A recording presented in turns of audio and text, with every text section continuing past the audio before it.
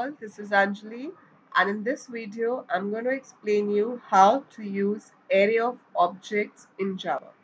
Now before starting with the thing that how array of objects are used in Java, I must tell you that the people who already know about what are objects, how to make classes and what are arrays will only be able to understand what I'm telling in this. So if you don't know what arrays are or you don't know how to make objects in Java, so you should go through that first and then only you can understand what I'm going to explain in this. So here I'm going to explain how to take array of objects. For that, let's say I have this class. The class name is complex where we have real and imaginary as data members. We have constructors and we have function to input the values and show the complex number and function to add two complex numbers and to check whether the two complex numbers are equal or not. So I have these. Now I need to make a program where I need to have five elements in the array of complex numbers. So I start with the Java main class here. So when I go to next, I give, uh, let's say I want to find sum of complex numbers. So I give the class name as sum complex and what I do over here is I have to take an array of five objects or I want to ask the user like how many objects user wants and accordingly I can choose that. So if I want to choose that I can just write here import java.util in case you want to ask the user or if you want to take five that's up to you. So first I'll show you directly five objects. How do we take that? How do we make one object? We write complex then we write a is equal to new complex. And then we give the round brackets but I'm not creating one object. What I want to do is I want to create an array. So I want to create an array. So for that as we create normal arrays we're going to write like that. We write the data type name of the array empty square brackets with it to just denote that whatever we are declaring is an array. The square brackets you can put here or you could put it over here with complex as well then we write is equal to new complex 5. So this 5 in square bracket says that I need an array of 5 complex numbers. As per that, as per the theory of arrays, complex 0 should be my first complex number, complex 1 should be my second complex number and so on. So as per that, I take one variable for the index, let it be i and I take a loop which goes from 0 to less than 5 that is it will work for 0 1 2 3 4 and what I've done inside this is I call input. So I call input from here okay? After input I want to show entered complex numbers are so entered complex numbers are and for that I just take this and I write AI dot show to show the complex numbers. That's it. That's my code. But I've declared an array of five complex numbers. I have taken a loop to enter the values and then I've taken another loop to show the values. So enter details, whatever message you want to show.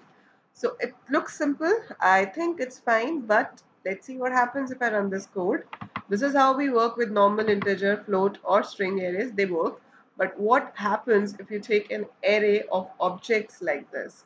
Now when we take this, the code would start, it will ask me enter the details and the program terminates without taking any details, giving a message which says null pointer exception. Now null pointer exception is a runtime error which occurs if you are trying to use an object to call a method but that object does not have any address. Means uh, as you know the object name is just a reference variable.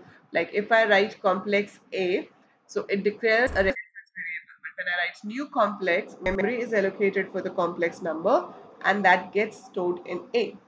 But over here we didn't create any object like that. The object is not created here. An array of objects is created which says that memory is allocated for an array where we get A0, A1, A2, A3, A4. But actually, they're not the objects. A0 is supposed to store an address. So this has created an array of references not the actual object so it's array of references where a0 will store address of first object. And then a1 should store for the second.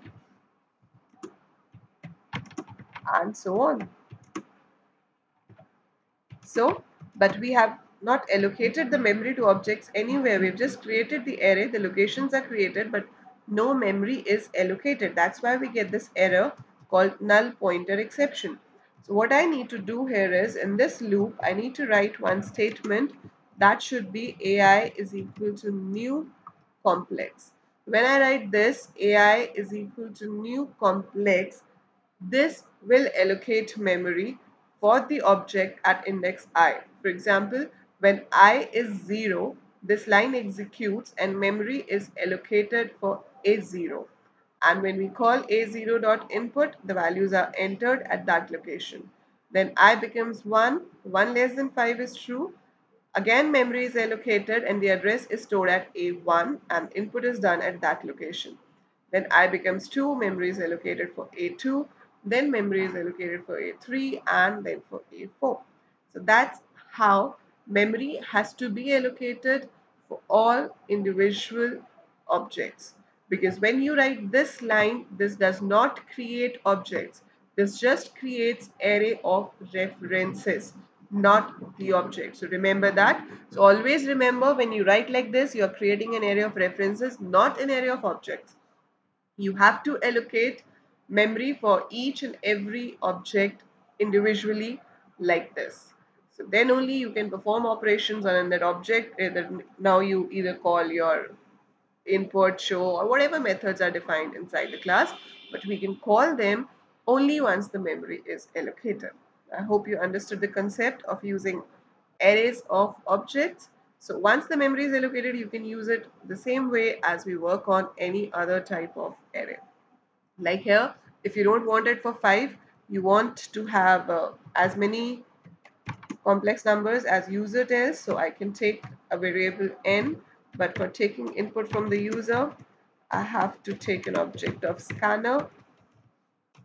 So I take an object of scanner over here and I ask the user to enter how many numbers are there. So when we ask how many numbers are there, I get that value in n.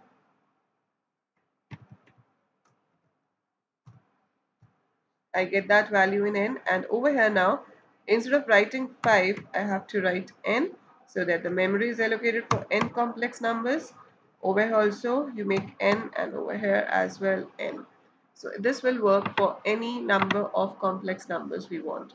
So now if I run this code and when it asks me how many numbers are there, I enter 4. So it asks me enter details, asks me the real and imaginary part for the first number, real and imaginary part for the second number, real and imaginary part for the third number and for the fourth number and then it shows all four complex numbers. If I enter 9, I have to enter 9 complex numbers or whatever number you say. So that's how the code works and now you can input, print, compare, add, whatever you want to do with your complex numbers. So that's how complex numbers work. So the assignment for you for this code is I have inputted the array and have printed the array but you saw there was a function called add in the class which helps you to find the sum of two complex numbers. Now try doing one thing, try using that function, try using that function and find the sum of complex numbers which are entered by the user. So that's your assignment. You have to call the function add from class complex in such a way in these loops so that I should have an object of class complex where I get sum of all the complex numbers entered by the user. I'll be waiting for your answers in the comment section below. Just write the loop part in the comment section below and let's see who answers first for this. I hope you understood the thing. In case there is any doubt, do write in the comment section. I'll get back to you. And if you found this video useful, do click on the like button, share and subscribe. Thank you.